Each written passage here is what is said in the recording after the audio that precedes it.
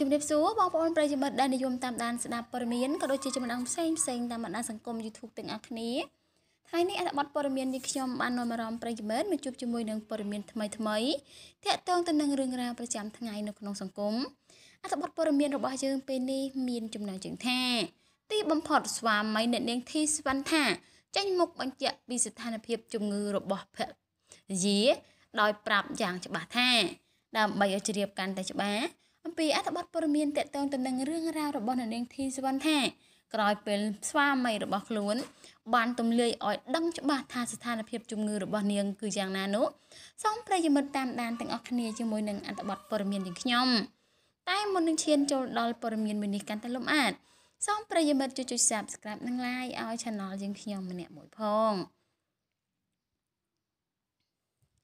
នាថ្ងៃទី2ខែធ្នូឆ្នាំ2020នេះ មហាជនជាច្រើនមានការភ្ញាក់ផ្អើលយ៉ាងខ្លាំងក្រោយទទួលដំណឹងថាអ្នកនាងធីសវណ្ណថា បានចូលបន្ទប់វះកាត ហើយក៏បានធ្វើឲ្យអ្នកខ្លះកំពុងតែឆ្ងល់ថាតើអ្នកនាងកើតជំងឺអ្វីបានជាចូលវះកាត់បែបនេះទោះចាទោះនៅទីបំផុតនៅមុននេះបន្តិចនាថ្ងៃដដែលនោះស្វាមីរបស់អ្នកនាងធីសវណ្ណថាបានបញ្ជាក់ហើយដោយយក Facebook page ធីសវណ្ណថាមកបង្ហោះថា ប្រពន្ធខ្ញុំបញ្ចប់ការវះកាត់ដោយជោគជ័យគាត់ដុសសាច់4ដុំមួយប៉ុនផ្លែពត្រាជាប់សាច់ដុំពោះយូរហើយ ដែលតែងតែឲ្យឈឺចុកពោះជាប្រចាំខ្ញុំគ្រងនឹងទៅវះកាត់នៅថៃឬសង្ហបុរីព្រោះតែជំងឺឆ្លងមិនអាចទៅបាន ថ្ងៃនេះយើងស្នើឲ្យដុកទ័រជំនាញជំនាញជំនាញ ជនជាតិអាមេរិក និងដុកទ័រជំនាញជនជាតិខ្មែរវះកាត់យកដុំសាច់នោះជិត5ម៉ោង ដោយជោគជ័យនិងកំពុងពិនិត្យបន្ត ពេលនេះគាត់ធូរស្រាលបន្តិចហើយ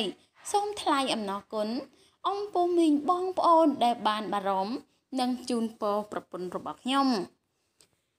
សូមបញ្ជាក់ផងដែរថា ស្វាមីរបស់អ្នកនាងធីសវណ្ណថាបានបញ្ជាក់យ៉ាងច្បាស់ច្បាស់ថា អ្នកនាងធីសវណ្ណថាមានជំងឺដុំសាច់នៅឯចាចំកន្លែងពោពេលនេះអ្នកនាងបានធូរស្បើយក៏ដូចជាការវះកាត់បានជោគជ័យហើយផងដែរចាដូច្នេះតបတ်ព័ត៌មានតកតងទៅនឹងរឿងរ៉ាវរបស់អ្នកនាងធីសវណ្ណថាគឺមានតែប៉ុណ្ណឹងដើម្បីងាយស្រួលក្នុងការទទួលបានព័ត៌មានថ្មីថ្មីបន្តពី Channel យើងខ្ញុំទៀត